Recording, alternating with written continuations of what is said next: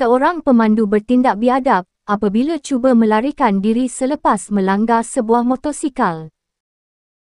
Menerusi rakaman CCTV yang dikongsikan dapat dilihat, pemandu tersebut masuk ke sebuah simpang namun mengundur semula secara tiba-tiba hingga terlanggar sebuah motosikal yang kebetulan berada di belakang kereta tersebut.